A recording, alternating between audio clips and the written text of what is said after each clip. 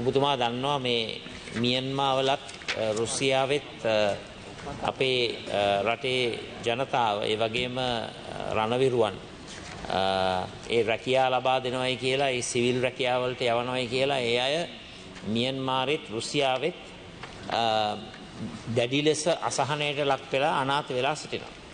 ඉනි අත්ත වශයෙන්ම සමහර අපේ රුසියාවට ගිය අය යුක්‍රේන් යුද්ධයට දැන් ඒගොල්ලෝගේ වෙනත් රැකියාවකට දැන් යුද්ධයට යොමු කරලා සමහරු ජීවිතත් අහිමි කරගෙන තිබෙනවා කියන එක වාර්තා වෙනවා. එතකොට මේ පිළිබඳව අපි යෝජනා කරනවා රජය වහාම මැදිහත් වෙන්නට ඕන. දැන් ශ්‍රී ලංකාව නියෝජනය කරන තානාපතිවරයෙක්වත් නැහැ රෂ්‍යාවල. එතකොට මේ වගේ තත්ත්වයක් තුළ විශේෂයෙන්ම මියන්මාරයටත් රුසියාවටත් සමගි ජන බලවේගෙන් යවුව වෙනම මන්ත්‍රී දූත කණ්ඩායමක්. අපේ සුජිත් සංජය පෙරේරා මැතිතුමත් ජේසී අලවතුල මැතිතුමත් වසන්ත යාපා වණ්ඩාර මැතිතුමත් අපි යවලා විශේෂයෙන්ම අපේ මට්ටමින් කරන්නට පුළුවන් දේ කරන්නට අපි වැඩපිළිවෙලක් යෙදුවා. හැබැයි හැබැයි දෙක රටවල් දෙකටම ගියා. මියන්මාරයකටත් ගියා මේ රුසියාවටත් ගියා. නිසා විශේෂයෙන්ම දැන් මේ මේ මේ මේ ගිය අයගේ පවුල් සම්පූර්ණයෙන්ම අසරණ වෙලා තියෙන්නේ. ඒ ගිය පුද්ගලයෙක් අසරණ වෙලා තිබෙනවා. ඉතින් මේක පිළිබඳව අපේ മന്ത്രിවරු ගණනාවක් මේ පාර්ලිමේන්තුවේ මේ ගැන කතා කරා. හැබැයි අමාත්‍යතුමනි මේකට විසඳුමක් නැහැ. ඒ නිසා දැන් විපක්ෂයෙන් മന്ത്രി දූත කණ්ඩායම් යවලා වැඩ කටයුතු කරන්න පුළුවන් නම් රජයටත් පුළුවන් යම්කිසි සක්‍රීය වැඩපිළිවෙලක් ක්‍රියාත්මක කරන්න. ඒ නිසා මම යෝජනා කරන ඔබතුමාට මේක අදම ජනාධිපතිවරයාත් එක්ක සාකච්ඡා කරලා හෙට උදේට අපිට විසඳුමක් ලබා දෙන්න මොකක්ද මේ ගන්න පියවර විශේෂ නෑ තව එකක් තියෙනවා විනාඩියක්. ඒතර ඔබතුමාට දෙකටම උත්තර දෙන්න පුළුවන්. මේ රුසියාවේ සහ මියන්මාරයේ අනාථ වුණු අපේ ජනතාව ඒ වගේම විශ්‍රාමික හමුදා නිලධාරිනුත් ගිහිල්ලා තියෙනවා.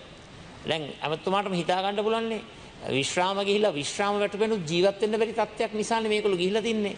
මේ විදේශීය රටක ඒගොල්ලෝගේ මේ මේ යුද්ධ කරන්න නෙවෙයි.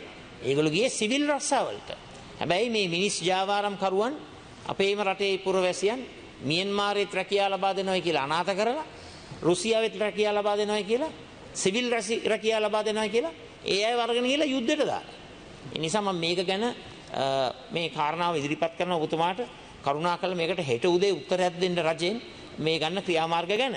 ඔබතුමාම දැන් කිව්ව දැන් ඉස්සරහට දැන් ඉස්සරහට ලොකු වැඩ කොටසක් අපිට තියෙනවා කියන එක කීම ගැන ඒක ඒක ඒක ඉතාමත් වැදගත් ප්‍රකාශයක්. මම හිතන්නේ ඒකෙම පිළි අරන් තිබෙනවා අපි අපේ අනාගත වගකීම්.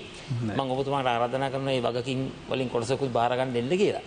මේ ඒක නෙමෙයි කරු සභානායකතුමනි. මෙතන මේක සංකීර්ණ ප්‍රශ්නයක් මේක මානුෂීය ප්‍රශ්නයක් මේක සංවේදී ප්‍රශ්නයක් මේක පෞල් පිළිබඳ ප්‍රශ්නයක් ඕන තරම් අපිට හොයන්න පුළුවන් මේ ගිය කට්ටිය වැරදි මාර්ගයේ ගියයි කියන කාරණා ගැන ඕන තරම් කියන්න පුළුවන්.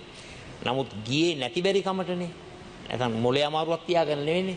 කෑම ටික කන්න මේ බැරුව වේල් තුන පිරිමහ ගන්න බැරුව මිනිස්සුගේ පවුල් වල තියෙන නැති බැරි කම නිසානේ ගියේ.